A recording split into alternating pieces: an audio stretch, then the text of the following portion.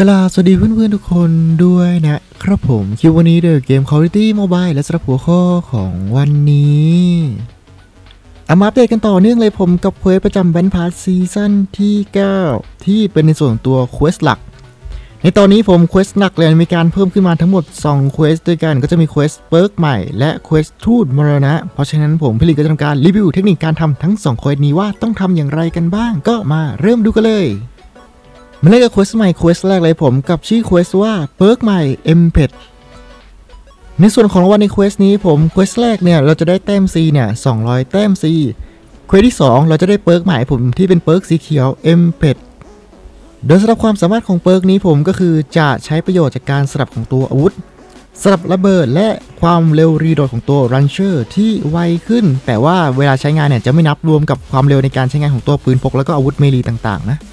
หรือถ้าเกิดว่าจะพูดง่ายๆ ผมก็คือทำให้อุปกรณ์รองอย่างสาย launcher ก็จะมีปืน SMRS และปืน FHJ 18สองกระบอกนี้เนี่ยเราจะสามารถชักยิงได้เร็วขึ้นแอนิเมชันเร็วขึ้น รวมถึงเวลาเปลี่ยน reload กระสุนเนี่ยก็จะเร็วขึ้นอีกเล็กน้อยผม ก็ทำให้การใช้งานของอุปกรณ์เหล่านี้เนี่ยในการเล่นในโหมด MP เนี่ยมีประสิทธิภาพที่ดีขึ้นนะ ของต่อมาผมกับปืน SMRS ที่เป็น skin เนื้อ A5 ถ้าดูดีๆเนี่ยก็มันเป็นลายเนื้อ A5 ชัดๆเลยผมชื่อสกินเนี่ยก็ บัต in the water ครับผมก็คือเลือดในน้ำ แต่ก็รู้สึกว่ามันจะดูเหมือนกับเนื้อ A5 มากกว่า แล้วก็ของรางวัลชิ้นสุดท้ายผม ก็จะเป็นในส่วนตัวอวตารที่เป็นตัวละครตัวใหม่นะมาเริ่มสำหรับการทำภารกิจเลยดีกว่า quest แรกเนี่ยก็คือเราต้องสังหารผู้เล่น 5 คน โดยทำการสวมใส่ perk Demo Expertโดยสำหรับเจ้า perk นี้ผมก็คือ perk สีฟ้าเพิ่มความเสียหายจากการระเบิด 25%ด้วยกันหรือถ้าเกิดว่าพูดง่ายๆเลยผมก็คือ ตอนที่เราทำภารกิจตัวนี้เราต้องใส่ perk ตัวนี้ไป และใช้ในส่วนอุปกรณ์ในการฆ่า ซึ่งใน quest ไม่ได้บอกว่าต้องใช้ปืนฆ่าหรือว่าใช้ระเบิดฆ่าเพราะฉะนั้นเนี่ยก็ขอเพียงแค่ต้องใส่ perk ตัวนี้เนี่ยในการใช้งานนั่นเองนะก็จะเป็นการจบภารกิจนะแต่ถ้าเอาชัวร์ๆใช้ระเบิดฆ่าไปด้วยก็ได้ผมใส่กับระเบิดไฟเนี่ยโคตรแรงโดนแป๊บเดียวเนี่ยก็ตายแล้วนะต่อมากับคนที่ 2 สังหารผู้เล่น 5 คนด้วยปืน SMIS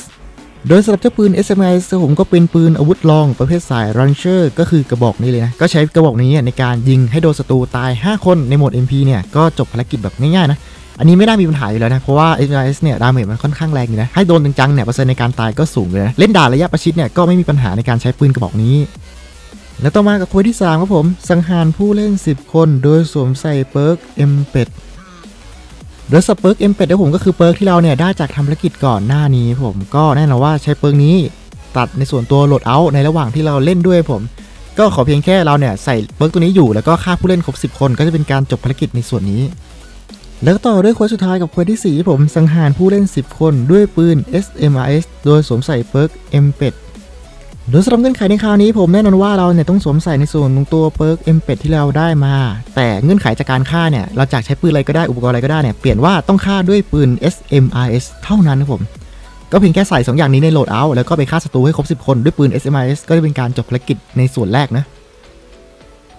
แล้วก็มาต่อเนื่องเลยผมกับ quest ใหม่ quest ที่ 2 กับ quest ทูตมรณะ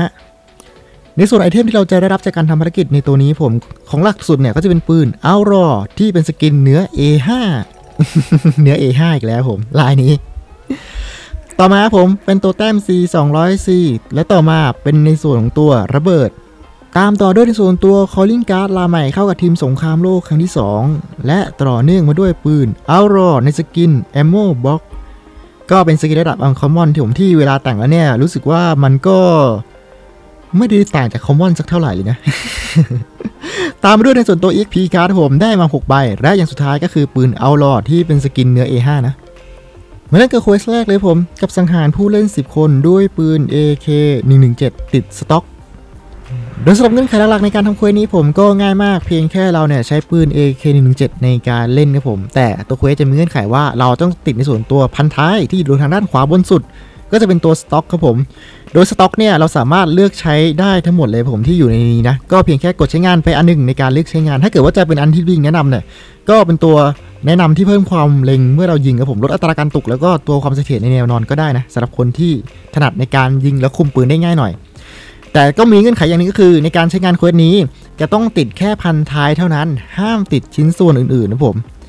ก็อาจจะทำให้ปืนนี้เนี่ยเล่นยากขึ้นมานิดนึงครับผมแต่ โดยรวมพี่ลิงว่า 10 ตัวเนี่ยกับการติดพันธะชิ้นเดียวเนี่ยเล่นด่านแคบๆเล็กๆเนี่ยยังไงก็ผ่านได้แบบสบายๆนะในรอบเดียวอยู่แล้วนะก็ติดเพียงแค่ชิ้นเดียวเท่านั้นในการทำ quest นะต่อเนื่องกันด้วย quest ที่2ของผมกับสังหารผู้เล่นด้วยปืน LK 24 ติดในส่วนตัว grip โดยเงื่อนไขในคราวนี้ผมก็เหมือนกับ quest ก่อนหน้านู้นแต่เพียงแค่ว่าเราเนี่ยเปลี่ยนจากปืน AK17 เป็นปืน LK 24 และ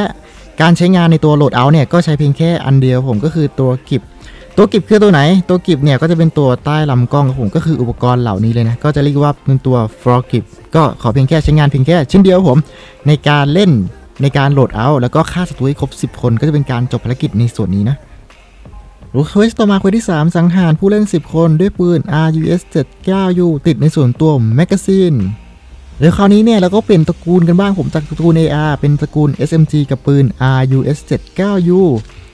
เงื่อนไขเหมือนเดิมก็คืออุปกรณ์ในการติดต้องเพียงแค่ชิ้นเดียวเท่านั้นผมก็คือตัว magazine ก็คือตัวเพิ่มในส่วนตัวขนาดของตัวกระสุน ก็คือเพิ่มจำนวนกระสุนให้มากขึ้น ก็เพียงแค่เลือกอันใดอันหนึ่ง แล้วก็ติดตั้งอุปกรณ์ในการใช้งานผมแล้วก็ไปลุยฆ่าศัตรูให้ครบจำนวนที่กำหนดไว้ก็คือ 10 ตัว ต่อกันในคนที่ 4 กับสังหารผู้เล่น 10 คน ด้วยปืน Striker ติด laser sight โดยสำหรับปืน Striker ผมก็จะเป็นปืนสาย shotgun หน้าตาก็จะค่าประมาณนี้เลยผม เงื่อนไขในตัว quest เนี่ยก็คือให้เราทำการติดในส่วนตัวเลเซอร์โดยสำหรับเลเซอร์ที่แนะนำเนี่ยก็ถ้าเกิดว่าจะเป็นตัวที่เล่นง่ายๆ ผมก็เป็นตัวนี้ละกันก็คือ เพิ่มความแม่นยำเนี่ยเมื่อเรายิงแบบไม่เล็ง หรือบางคนจะใส่เป็นเพิ่มความแม่นยำยิงแบบเล็งก็ได้เหมือนกันกับเพิ่มความไวอันนี้ก็อยู่ที่ความถนัดของแต่ละคนได้เลยนะไม่ต้องซีเรียสผมในส่วนนี้นะก็ใช้เพียงแค่ชิ้นเดียวเหมือนเดิม แล้วก็ไปฆ่าศัตรูให้ครบ 10 คนก็จะเป็นการจบภารกิจ และเควสต่อมาผมกับสังหารผู้เล่น 10 คน ด้วยปืน UL 736ติดในส่วนของตัว Muscle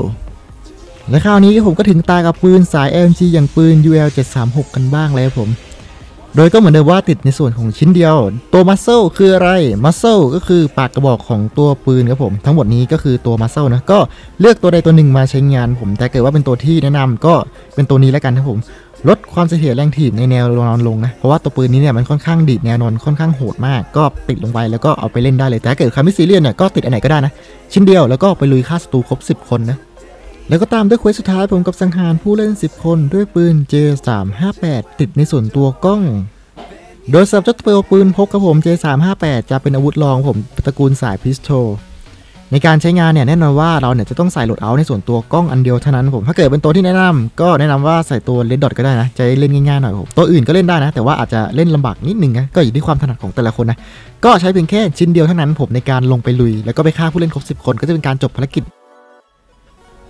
แล้วก็คร่าวๆประมาณนี้ผมสำหรับการรีวิวในส่วนของตัว quest ใหม่ quest หลัก ใน Battle Pass ซีซั่นที่9ผมในช่วงของเฟสที่ 2 เฟสต่อไปที่จะมาเนี่ย น่าจะมาประมาณสักวันที่ 26ถึง28 นี่แหละ ถ้าพี่ลิงจะไม่ผิดเดี๋ยวผมก็รอกันได้เลยนะสำหรับในช่วงของเฟสต่อไปก็อีกประมาณ 7 วัน